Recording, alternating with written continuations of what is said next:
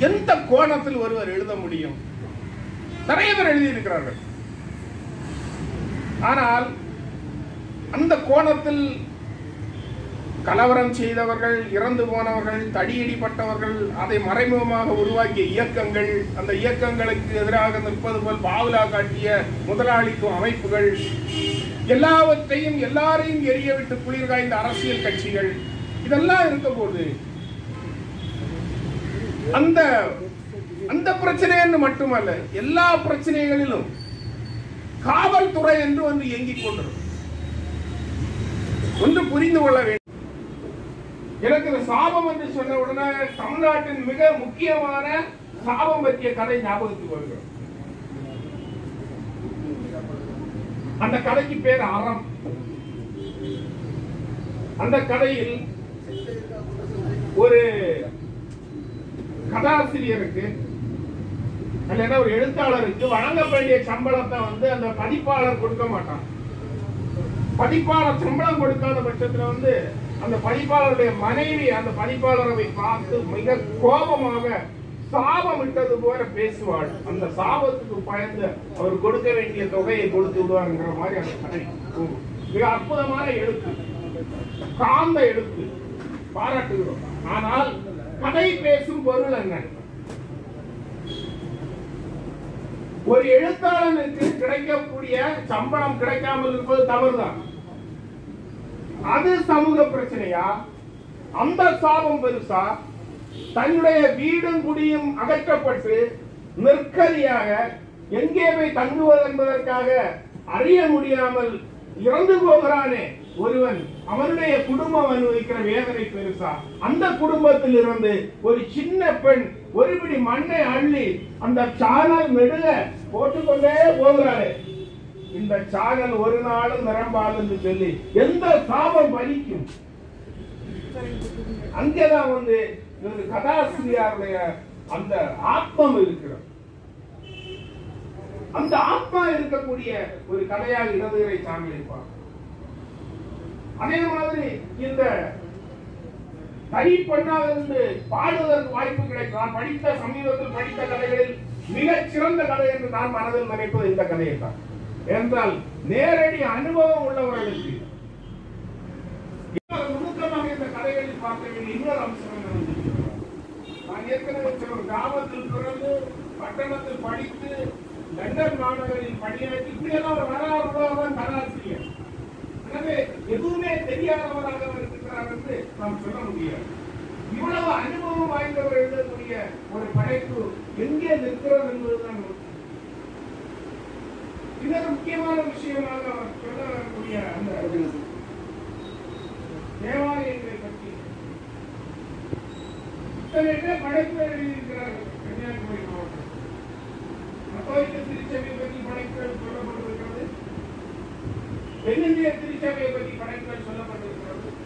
ஆனால் கன்னியாகுமரி மாவட்டம் இதே அளவுக்கு பழமையான குறிப்பாக சொல்லப்போனால் தென்னிந்திய திருச்சபை பரவலாக பரவிய காலகட்டத்திலேயே கன்னியாகுமரி மாவட்டத்தில் நூறை முழுக்கெல்லாம் பரவிய ஒரு திருச்சபை அமைப்பு ஒரு சேலவேஷன் ஆகும்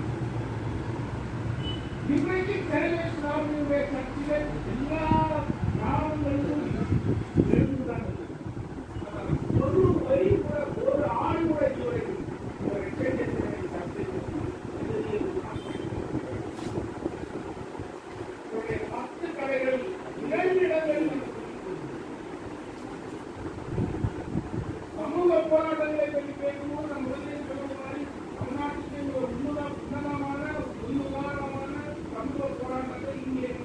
सकूँगा तो उसी पे चार्ज रखते हैं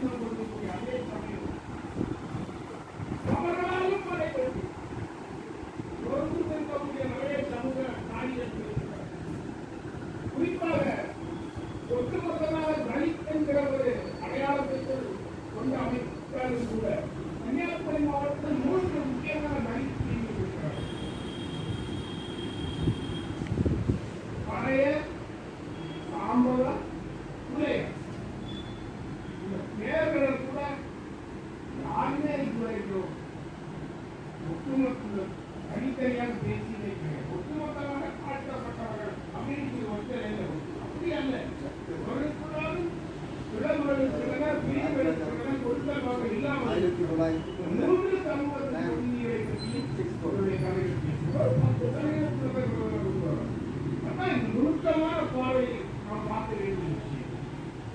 பழமொழிகளை சொல்கிறேன் என்று சொல்லி எல்லாருமே பழமொழிகளை சொல்றாங்க கன்னியாகுமரி மாவட்டத்திற்கு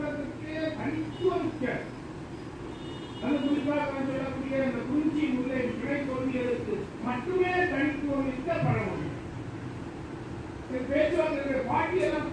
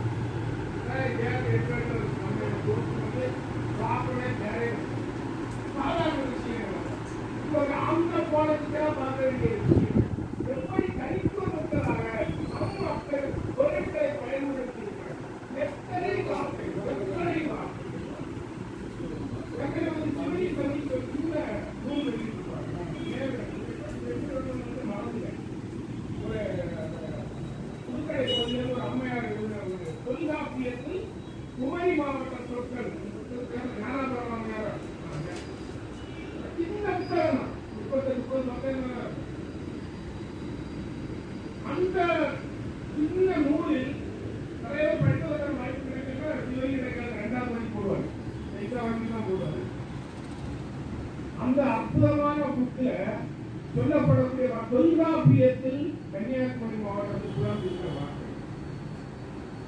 அப்புறம் வந்து இன்னொரு நூல் பேராசிரியர் இல்லவரும் அவரோடு சேர்ந்து இன்னொரு பேர் அவரை சேர்ந்து குளவங்கோடு வட்டார இந்த சொற்களை பற்றி அந்த குழந்தை சொற்கள் இந்த ரெண்டு நான் படித்தவரை இந்த ரெண்டு நூல்களில் சொல்லப்படக்கூடிய மனைச்சொற்கள் இருக்கிறது இதே மாதிரியான ஒரு நெய்தல் பகுதி நெய்தல்களில் சொல்லக்கூடிய இன்னும் தனி கணக்கு திணைமுல்லை முல்லை மருதம் முல்லை பகுதிகளில் இல்லைன்னு சொன்னால் குறிஞ்சி பகுதிகளில் நம்ம இந்த கலை இதையெல்லாம் வந்து தேடி இந்த நூலில் வந்து எக்கச்சக்கம் தேடி இருக்காங்க நான் ஒரு பாஷையை பேசுகிறேன் இல்லைன்னு சொல்ல கற்பன மொழி எழுதுகிறேன் நிறைய எழுதியிருக்காங்க ஆனா சர்வ சாதாரணமாக வீடுகளில் பேசக்கூடிய கேட்சி என்கிற வார்த்தை ಕ್ಷೇತ್ರವಾರ್ತೆ ಯಾರನ್ನೇ ಬೈಬಿಟ್ಬಿಡ್ರಿ ಸೆಲ್ಫ್ ಸರ್ವಿಸ್ ಮತ್ತು